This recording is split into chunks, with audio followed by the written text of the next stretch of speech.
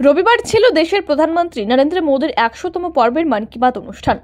সারা দেশের সঙ্গে রাজ্য যথাযোগ্য মর্যাদায় সম্প্রচারিত হয়েছে এদিনের অনুষ্ঠান। মোদীর মস্তিষ্ক প্রসূত মন কি বাত অনুষ্ঠান বর্তমান পরিস্থিতিতে দারুণভাবে আলোকিত করছে গোটা দেশের জনজীবনকে।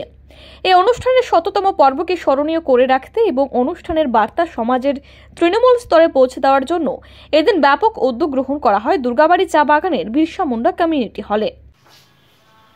আমরা আজকে বামুটিয়ার দুর্গাবাড়ি কোপারেটিভের বিশ্বমুন্ডা কমিউনিটি হলে বামুটিয়ার পঁচিশ নম্বর বুথের সহযোগিতায় আমরা একত্রিতভাবে আজকে প্রধানমন্ত্রীর একশোতম মন কি বাত অনুষ্ঠানে সবাই মিলিতভাবে উপস্থিত হয়েছি এবং সবাই আমরা প্রধানমন্ত্রী যে আজকে যেই মন কি বাতে যে আলোচনা করেছেন সমস্ত আলোচনাটা আমরা সবাই মনোযোগ সহকারে শুনেছি এবং অনেক কিছু আমরা এখান থেকে উপলব্ধ করতে পেরেছি এবং আমরা প্রতি বছরেই, প্রতি রোববারই আমরা এই প্রোগ্রামটা করে থাকি।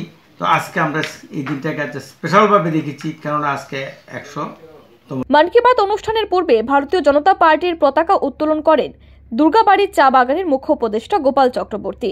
ভারত মায়ের প্রতিকৃতি সহ দীনদয়াল উপাধ্যায় এবং শ্যামাপ্রসাদ মুখার্জির প্রতিকৃতিতে পুষ্পস্তবক দিয়ে সংবর্ধনা জানানোর পর তিন বামুটিয়া বিধানসভার পঁচিশ নম্বর বুথের সকল সদস্য এবং চা বাগানের শ্রমিকেরা অংশগ্রহণ করেন প্রধানমন্ত্রীর একশোতম পর্বের মন কি বাত অনুষ্ঠানে।